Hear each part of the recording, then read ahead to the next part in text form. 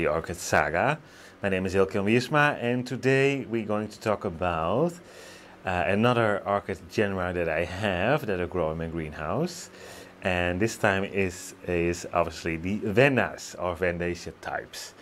And this is a sort of a two birds and one stone type of video because I do have a uh, sort of playlist about the Vandas where I did try them to grow them in uh, terracotta pots.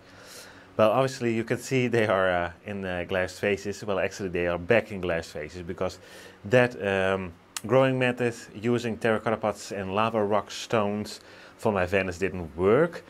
Uh, I couldn't keep up with the watering uh, still and I had uh, dry top layers and wet uh, layers underneath in the pot. So um, yeah, I barely lost some, some Vandas, especially the one here on the right. And um, so yeah, therefore this is a little bit of update for that uh, part as well. The last one I will uh, will do. But as you can see, before we go and have a close up on the, the Vandas that I have, that I, uh, like I said, I have them in glass vases. And I water them uh, when it's summer or very bright days. I water them for about 48 hours. And what I do is, you can see it here, you, you will get algae and that was the reason why I tried terracotta pots, but the algae I need to deal with obviously, but uh, I will fill up the vases uh, with water, fertilized water, and I will uh, let that uh, sit there for uh, 48 hours. Um, like I said, when it's when it's warm, nice, bright weather. In the winter, when it's colder, I leave the, the water in for about 24 hours. But nowadays, because it's now it's summer, it's uh, two days, something about two days. And they really uh, seem to uh, uh responding to it uh, very well. So therefore I thought it's time to do an, an update because I have two blooming again. This one was trying to bloom even with the terracotta pots, but that one and the rest of them didn't bloom for over a year because I was yeah, basically uh, they had a rough time. Let uh, let me put it like this. So um, that's a, a, bit of the setup. And if you want to know about the fertilize, uh, the amount, it's um, yeah something between 200 up to 400 parts per million. It depends. Once again, if it's a dull day, I use about 200 250 parts per million. But as soon if, uh, there is more light, I will uh, add a little bit more fertilizer in because I think then they take a little bit more. So. Um, let's start here on the left and if I do have names for them I will put them in the screen because I don't have name tags uh, on them at least most of them. We will have a few with a name tag but you can see here for example this is a beautiful orange uh, brown vanda and it's starting uh, roots again and it's looking fairly nice. This one has the uh, greenest covered with algae, uh, algae roots but so far it doesn't mind it as much. But I don't like the look of it. It looks very dirty. But I keep cleaning them if I want to have a nice clear vision. So I don't do that. I just do it uh, on occasion. I will clean the, the vases. But then, uh, as you can imagine, like this big one, I need to take them out. And the chances that me breaking roots is very high. So therefore I keep uh, like I said, I need to deal with the algae. It's it's just uh, is it is what it is, and we see a nice root starting here, and this one still doesn't bloom yet, but it has. I hope you can see it. Some happy sap on it, so it's uh, starting to get happy again. New roots, so I think a flower spike will uh, will follow. So next to it is this giant one. It's a very very beautiful one. It has this beautiful keiki that I'm leaving on because I really like to have more of these beautiful spikes. This one is, is such a beauty. Yeah, I have two that are my favorites and this is one of them. It's, it's such a beauty. Beautiful yellow blooms and I noticed that it does keep that darker edge around them. Normally they started uh, within a day or three, four, they did get completely a, uh, a more pale yellow, but I think it does get more light and therefore it, it, the color is a little bit, bit deeper, I should say, I think. But you can see it's, it, has been in, uh, bloom for a while already. I, am losing a uh, flower here, so I thought it and this needs an update.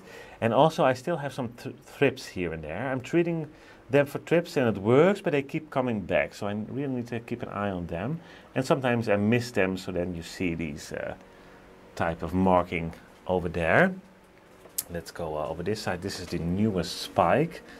And this one is a little bit lighter, but you can see quite some blooms and two beautiful massive spikes.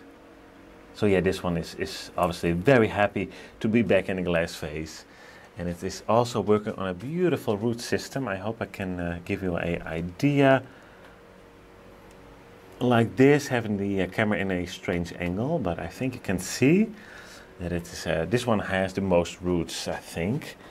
And I'm just looking if I can let it see that that keiki is also making very thick roots. I believe this one down there, oops, that one you can see is coming from the keiki. You can see it's very thick, very thick root. And obviously this one right in the screen and a lot more. so this one is uh, doing very, very well. So next to it we have the other blooming one. This is, I think, the White Angel, something White Angel. The blooms are, this one is already uh, going over as well. And some trip damage as well on this one. But those are uh, white with a uh, light green color mixed in with that. It's not pure white, but it's some, some green, uh, green within those ones as well. This one is also working on a keiki. You can see it here. And this one, uh, Keiki is a bit small, but the Venne itself is also a bit smaller. The, the one we just saw is, is a bit bigger, generally speaking, I think. Uh, whoops, luckily this one is also making new roots. It doesn't have that big of a root system anymore. It had more roots, but I uh, messed it up with the uh, lava rock, sadly, but it's coming back. And this one really, really likes to bloom. I still have this old spike, and probably it will have um, of quite uh, quite uh, shortly after this filming, we uh, probably will see another spike. I don't see it now, but this one is really likes to bloom. So one, when one is done, most of the times it's already starting another one. Then this one next to it was very sad to begin with. It's fairly new in my collection. I have it over a year now, I think. But uh, getting it to grow roots was very, very difficult. But finally, you can see there uh, is a, a, new root starting and also in the back of this one. Let me see. I hope you can see it. It's just above my finger there. That one is a very thick root. Finally.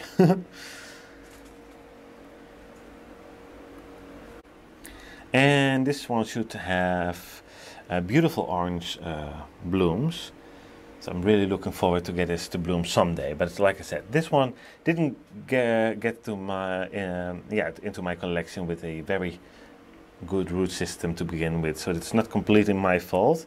I didn't do it uh, justice also with uh, putting it in a terracotta pot. But I think uh, we uh, started to get somewhere again. Then this one, believe it or not, this one had last year or the year before probably 10 keikis growing. I believe seven of them didn't make it because there were a few stuck in the in the basket. Uh, when watering uh, this plant, I had a few covered underneath the water level, so that didn't help as well. But as, as you can see, there's still, yeah, I figure about at least seven of them. Yeah, it looks amazing, I think. I cannot wait to get these keikis at a blooming size. Can you imagine that they come out of the vase? it would be a, a big mess of enda. it's a beautiful one. It's it's uh, this one has beautiful uh, blooms as well. I'm not certain of the name. I have a name for it, but I'm it was a no ID, and someone gave it the name to it, but uh, for it. But uh, yeah, it's uh, anyhow a beautiful one. This one is uh, really uh, taking off again as well. It has a root there in the back. It's not long enough it may look like it's long enough, but I need to put it over the edge and then it will flip out. So I leave it, but I try to get all those roots into the vases because it's easier and it's handier when watering. Then we have um, this one. This is the, the one that almost died. It's such a beauty. This one is the, the another most favorite one. It's the Blue Magic. And I always will remember that name because the, the blooms, yeah, they are purple, but they are so close to blue and so beautiful. One of my first vandas, probably maybe my second vanda. Uh, years and years ago, I had a red one, and I think that one I lost, and then I stopped growing orchids for, for about one year. Then I get did get back into orchids, and this one was the vanda, the first vanda to, that I bought. So very special. It, been, it has been through a lot, as you can see. It looks dehydrated, but I was waiting for new roots, and as you can see, we have new roots starting, finally. And this one wasn't a big root grower to begin with, so, uh, but I, uh, I'm happy to see uh, new branches, new roots. So yeah, hopefully it will get uh, more hydrated again. But it's hanging in there, and once it's happy, it's also like the white one. It, it blooms with a spike, and when that is done, the other one is already on the on the way. So that's uh, something to look forward to. Down here we have my most newest ones. Ones, yeah, there are more. um, did I leave the tag on this one? Yes, we have the tag here. So really looking forward to this one to bloom as well. Um, this one does very good as well. It's really working on the roots. It also has some happy sap on it. And I don't think we see a beginning of a new spike. Let me just quickly check. No, not, not yet. I never had one in bloom, but I hope I will. It looks uh, very healthy to me. And next to me is a uh, type, the Vietnamica. Uh, I have the tag, Christ Christensoniana Vietnamica. This one did arrive in a very good condition, but I messed it up. but luckily you can see we do get new roots again, finally. So that's uh, looking very promising. And I think I might, I don't know if it will develop, where am I here? A uh, flower spike, let me zoom in. I think that's, that's a flower spike, that would be the first one. And because it's growing roots again so I think I can leave it on there. So that's something uh, to look forward to. And I actually remember that we didn't not that long ago we did a care collab on the in the vandas the big vandas so I will link it. Maybe I already have it but if you want to go want to know more about the care that I'm giving them you can uh, check that video as well and then in the meantime, I was visiting, visiting the another one. That's this one, a new, uh, fairly new Vanda for me. Or Vandaceous type, I should say. Whoops. uh, but this one is the same story, but it's uh, also making roots. So I'm very happy. So far, they do all make roots, and we have a care collab on this one as well. Then the Denisoniana. This is my smallest one ever, but I, it's so hard to buy here in, uh, in Europe. So I decided to uh, buy a seedling one. And luckily this one is uh, starting out quite a nice root system again. Same story, did mess it up completely. but it, looking, uh, it looks uh, healthy. Tiny, but healthy. But who cares, it's a Denisoniana, and uh, I, I have it. I, I think it's the yellow one. Someday, probably we will see. then next to it is the Tessellata alba. Also a very young plant. But it's a bit bigger and it has a beautiful root system on the go. Same story. Didn't mess it up, but luckily it's uh, coming back. And then next to it we have this um, Renanthera citrina, also Care Collab market. And yeah, I think it will start to grow now a little bit more, but it was in the winter it's not doing much. I don't have it that cold in the greenhouse, but uh, probably too cold for it. And uh, I see now that it has, oh, it's a bit dark. I'm sorry. Can I get it? Oh, it's the it's in the evening, but it's a very nice day. So I'm sorry, uh, the backdrop is a little bit too uh, light for it, but it has some happy sap there. So I think that's okay, but it's it's not doing much at the moment. But it's not looking very bad either, I think. Growing root uh, leaves, I'm sorry. So I think it will uh, will be fine. So that's basically uh, this is my vanda corner because this is uh, facing southwest. So in the morning, yeah, the sun starts in the morning uh, right about here, but it's getting over there very rapidly. So I have some Cattleyas and Caellia africanus. All my uh, highlight are in warmer growing orchids, and then of course the vandas, and those get quite a bit of light from above and also from uh, from in uh, in that side. So that's beautiful, and I have two vandaceous types here, as you can see. Let me grab the tag of one of them. Oh, you better can see it. It's a Rhynchostylis, Gigantica Peach. And I have the dark red one next to it. These I had in the same uh, right about here. But I had a feeling that those did get a little bit too much light. So that's why I put them over here. You can see this one is a little bit shriveled as well here. Leaves aren't that hard anymore. So I'm not sure what the problem is.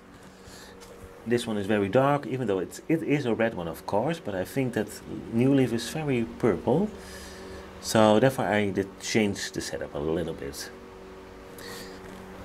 Yeah, this one is firmer than the other one, so but it says it's very dark there, so I'm not sure, but I'm trying it here now to see if they will uh, do better.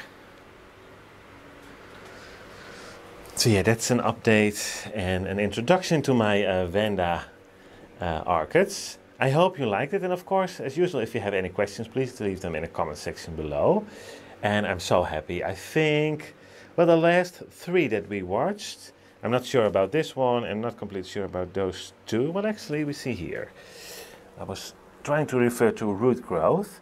So, but so far, well, there's still uh, two left that we don't know, but the rest of them is all making new roots, new leaves, finally.